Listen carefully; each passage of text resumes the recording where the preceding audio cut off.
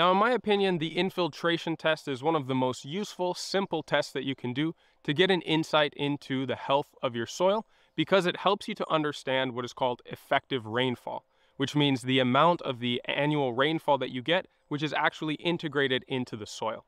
In very simple terms, we're going to be measuring how quickly you can infiltrate 25 millimeters of water into your soil, which corresponds to one inch in imperial measurements. And then by dividing that over 60 minutes, we'll get an insight into how many centimeters or inches you can infiltrate into your soil over the span of one hour. So let's get started. Now, there are only a couple of tools and basic equipment that you need to be able to perform this test accurately. The first and most important is a PVC tube. In this case, this is 150 millimeter diameter, measured at 75 millimeters because that is the depth at which we're going to pound this into the ground.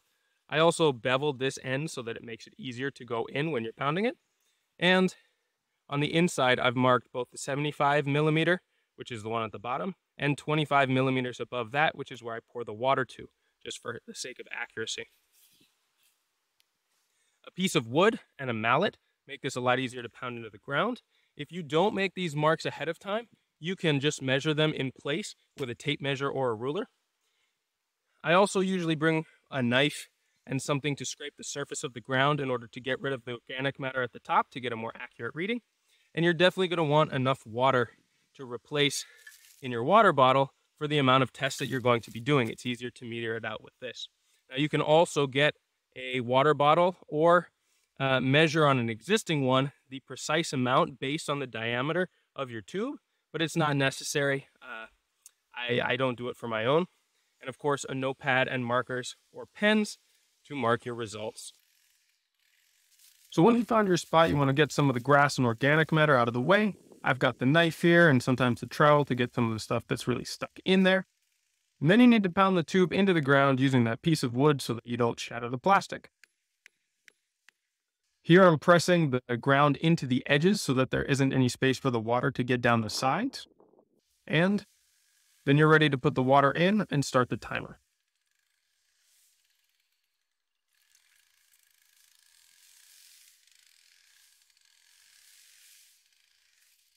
Here's a time lapse of what it looks like going all the way down. And now that it's done, we'll start the second test, which is the one that we're actually going to be recording. Fill the water all the way back up to the same level. And let's just speed through this process because it takes a while. And you're completely finished when there's a wet glaze over the top of the earth and there's no standing water in it. So I'll show you the results that I got from my different infiltration tests. So as I've recorded it here, I'm on the triangle plot, which is the name of the plot of land on my farm. And I did two different readings. The first one, of course, I'm not counting. The second of one I've got circled here. And I did a second site in order to get an average. So between six minutes and five minutes and 30, now I round up to the nearest minute or the nearest half minute, just to makes the division easier.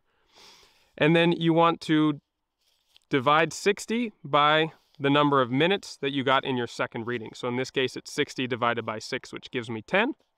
And then there's 60 divided by 5.5, half minute, which gives me 10.9, which I round to 11.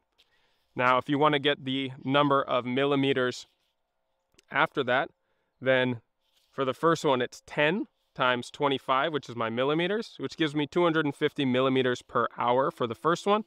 The second one, 11 times 25, gives me 275 millimeters per hour. The average between those is what I've got here on my triangle plot field.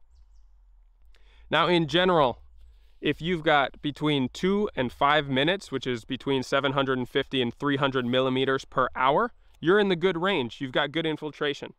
Anywhere in the medium range between 6 and 20 minutes or 250 millimeters or 75 millimeters is medium, definitely room for improvement. And if you are more than 20 minutes or less than 75 millimeters per hour, this is poor. And it probably means that you're losing a lot of rainwater off of the surface when it rains. Now, like most of these soil tests, it does make a difference if you have heavy clay soil or if you have sandy soil, especially for something like infiltration. Heavy clay is of course going to take longer to infiltrate and sand is likely to infiltrate very quickly. And so taking that into account when you get your readings is important. Now, of course, remember to record the results over time. This is what's going to give you insights into the efficacy of your management and whether it's improving or decreasing the infiltration capacity of your soil. And use the Farm Health Report Card if you can to keep track of these over time and make it easier to organize the data. I'll see you in the next one.